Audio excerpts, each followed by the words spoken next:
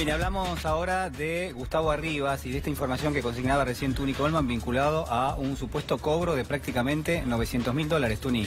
Efectivamente, bueno, la Policía Federal de Brasil, ahora en forma muchísimo más oficial que hace un año, porque hace un año aquí el diario La Nación publicó que eh, dos arrepentidos, dos cambistas, dos cueveros, le diríamos nosotros en Argentina, creo, eh, mandaron en forma ilegal 850 mil dólares que fueron de Brasil, eh, eh, de Brasil a Hong Kong, de Hong Kong a Suiza y ahora la policía brasileña agrega de Suiza a la Argentina. Todo esto en 2013. Eh, en su momento, Gustavo Arribas dijo, bueno, eh, fue por, primero dijo que fue por la venta de una propiedad, después dijo que fue por los muebles de una propiedad eh, y que solo fueron 70 mil dólares.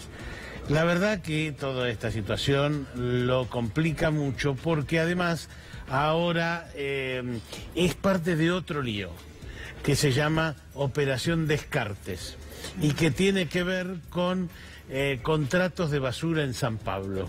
Es decir, esto ya no sería una coima exactamente de Odebrecht, como se decía el año pasado, de la empresa brasileña y por el tema del soterramiento del Sarmiento, sino una coima por eh, un contrato de basura y sobre todo por terminar con un contrato de basura y cambiar de empresa.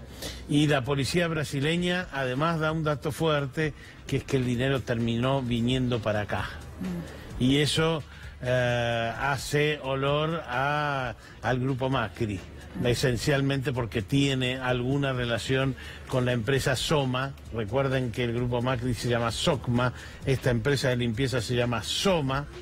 Eh, y aparentemente la policía brasileña algún vínculo le encuentra. Bueno, lo concreto es que la policía brasileña le va a pedir colaboración a la justicia argentina porque tienen la cuenta en la que entró el dinero, tienen los datos eh, no entraron de forma formal al sistema bancario pero sí tienen datos asociados a la Argentina de una cuenta eh, bancaria. Veremos qué sucede. Uno de los hechos más graves de esto es que la justicia argentina cerró, eh, a través del juez Canicova Corral, cerró el, caso muy rápidamente, en Argentina muy rápidamente. Yo te iba a preguntar hasta dónde puede llegar esta investigación teniendo en cuenta ese antecedente, ¿no? Bueno, el fiscal Delgado apeló otra grosería que ocurrió después de eso es que el fiscal general Germán Moldes eh, desechó la apelación de su par, de su eh, delgado, de Delgado, y esto llegó de todas maneras a la Corte Suprema que la tiene, que tiene el tema en este momento. Es decir, la causa no está, está cerrada pero el, cerrado, por decirle, la clausura de esa causa está apelada en la Corte Suprema.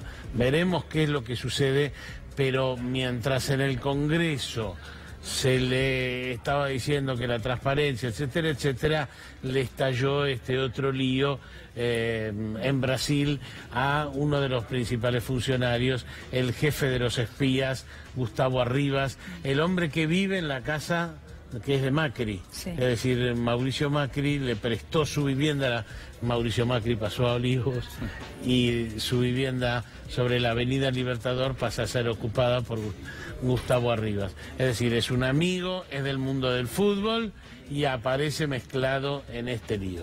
Tuni, déjame agregar solamente esto, porque ayer algunos se confundían y decían en el comunicado de la policía brasileña habla de un funcionario, no puntualmente de Arribas. Bueno, pero es el vocero de la policía quien lo menciona puntualmente Arribas con nombre y apellido. Digo, por si alguno pudiera pensar que su nombre no figura, entonces, bueno, hay alguna intención de involucrarlo a él con esto. Es el mm, vocero de la policía brasileña quien habla de Gustavo Arribas. Agreguemos a esto que de todas maneras ayer Gustavo Arribas sacó un comunicado, es decir, que él se da por enterado de este asunto, y dice, no es verdad, no recibí esa plata, solo recibí los 70 mil dólares por los muebles, o sea, él sigue en su posición, pero ahora ya tiene otro cariz porque hay una investigación muy oficial y muy expresada, ya muy oficializada por la Policía Federal y la AFIP de Brasil. Gracias, Tuni. Compartimos ahora.